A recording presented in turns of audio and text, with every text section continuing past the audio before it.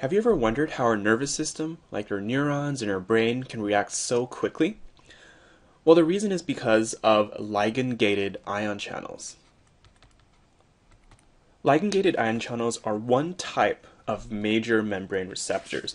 Um, the three categories are ligand gated ion channels, G protein coupled receptors, and lastly, enzyme linked receptors. And today we're going to focus on the ligand gated ion channels, and these are also called ion channel linked receptors. So, ligand gated ion channels are transmembrane ion channels that open or close in response to the binding of a chemical messenger like a ligand. So, like we mentioned, a very common place to find ligand gated ion channels are in electrically excitable cells like neurons. And the reason why is because these ion channels react really quickly to the binding of ligands. And so they're very commonly found in cells that need to react very quickly to stimulus. When we talk about transmembrane ion channels, what we really mean is they are transmembrane or integral proteins that also have a channel, a hole through them in which things can move in and out. So to start with, let's say we have an ion channel that looks something like this. Let's go ahead and color that in. In this particular channel, this channel at the moment is closed. And right now we have our intracellular environment here. This is where our cytosol and all of that stuff is. And this is our extracellular environment. And so as you can see, this ion channel has like a weird kink in it. And this is this place where a messenger, like a ligand or a neurotransmitter, can bind. So let's say we have a ligand that looks like this.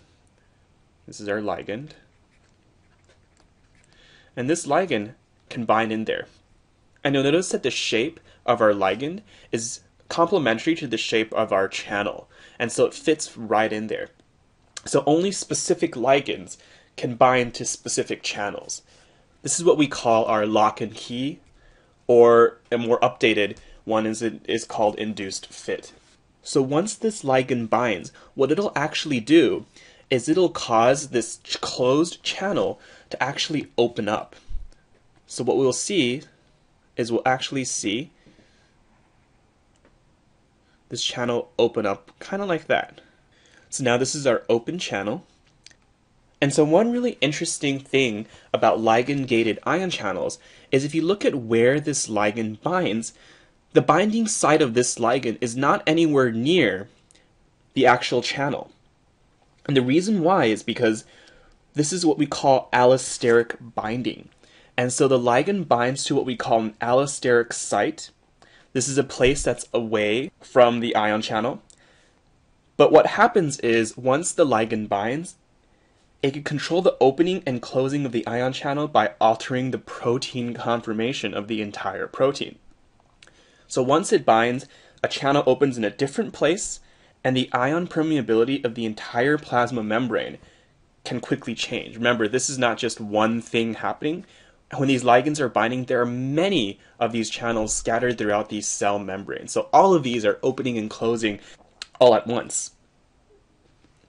So once this channel opens, it'll let ions like potassium, sodium, chlorine, or calcium being the most common move through the open channel.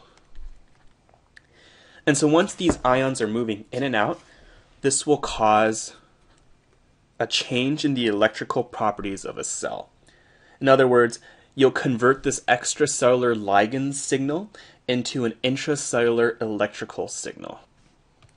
And so once these ions move in, or they can also move out, you'll have an intracellular electrical response, electrical signal happen inside the cell.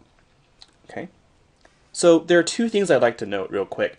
The first is at the allosteric binding site of the ligand, so this area that is complementary to the ligand, can be intracellular, it can be inside the cell, but that's considered pretty rare. Why might that be? Well, we'd have to think about the main purpose of membrane receptors, and we have to realize that they generally are meant to respond to extracellular signals, to things that are on the outside of the cell. Um, and so, generally speaking, ligand gated ion channels will have the binding site on the extracellular side. The second thing to note is that it is possible for there to be multiple allosteric binding sites for ligands.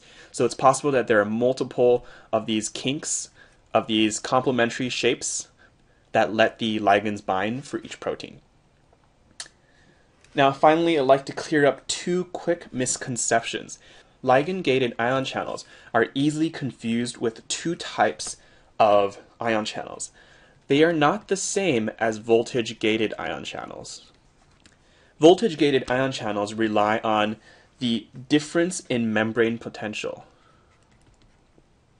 And as we recall, ligand gated ion channels actually respond to the binding of a ligand. The voltage gated ones only depend on the difference in membrane potential. The second one that you're easily confused with is what we call stretch activated ion channels. Now, as the name implies, stretch activated ion channels depend on what we call the deformation of the cell membrane, or the cell membrane stretching and being pushed and being stressed. So, in summary, ligand gated ion channels are one type of membrane receptors. Um, they are transmembrane ion channels that open or close in response to the binding of a chemical signal like a ligand.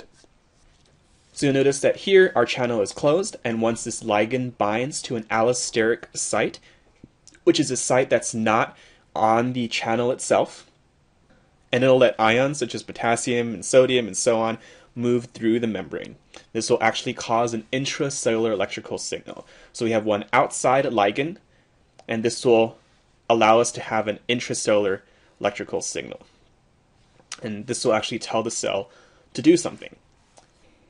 And ligand gated ion channels are not to be confused with voltage gated channels, which only rely on a difference in membrane potential, and they are not to be confused with stretch activated ion channels, which are affected by deformation of the cell membrane.